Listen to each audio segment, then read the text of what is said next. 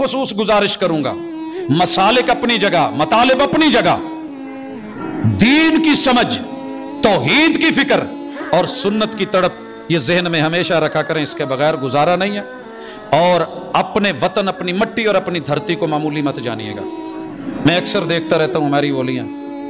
दुनिया भर घूमने के बाद, देखने के बाद, परखने के बाद जोग्राफिया पढ़ने के बाद, हालात ज़िंदगी देखने के बाद, जिस कदर खूबसूरत अजीम तर रब ने यह मुल्क बनाया है, शायद कोई ना हो।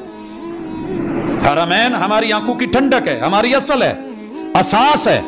उसके बाद अगर अल्लाह ने यह शरफ बख्शा है कि डायरेक्टली कलमे की बुनियाद पे, तोहीद की बुनियाद पे, ला इलाहा और दो कौमी नज़रिए की बुनियाद पे अगर आपने कोई मट्टी और धरती ली है, जैसे आम जमीनों में से वो प्लाट महँगा हो जाता है जो नमाज़ के लिए लिया गया हो। यारो, जो धरती ली तोहीद के लिए गई है।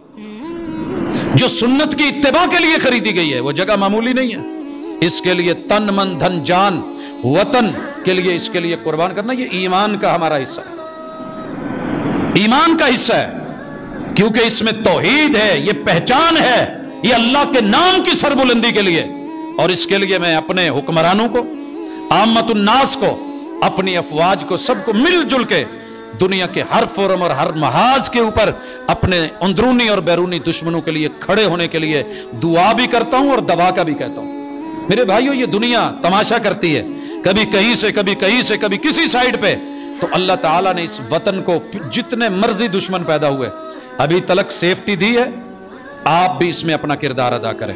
दुआओं में, सरपरस्ती में, तरबियत में, तालीम में और उन चीज़ों में कि जिनमें मुल्क दुश्मन अनासर हमारे अंदर हैं या कहीं बाहर हैं, छुपे हुए हैं या किसी रूम में हैं, इनके लिए अपना रास्ता आसान मत कीजिए।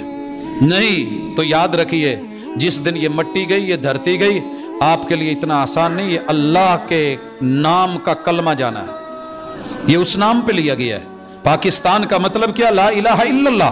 कोई भूला है तो हम याद करवाते हैं।